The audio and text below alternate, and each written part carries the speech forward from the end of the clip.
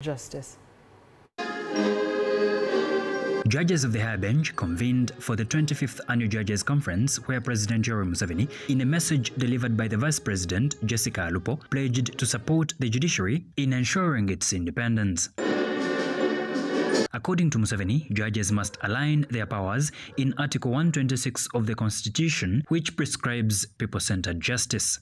As government, we shall continue to support and build a strong judiciary through all means possible, including respect of court orders.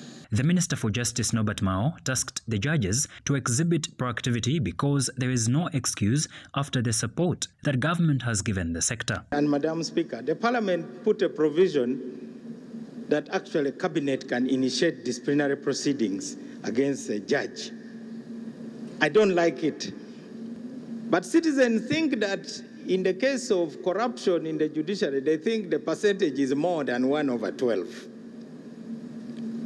So as we talk about judicial accountability, we really have to confront the Chief Justice Alphonse Owiny-Dollo pledged that the judiciary will embark on the best practices, innovation and current reforms as they accomplish the 2020-2025 strategic plan. Continued to promote innovations, simplified court process, court processes, and enhance the use of ICT in case management and delivery of justice services.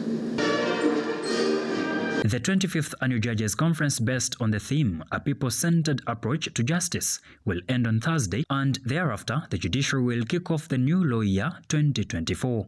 Alex Mugasha, Adam Nuwamanya, NBS, Live at 9.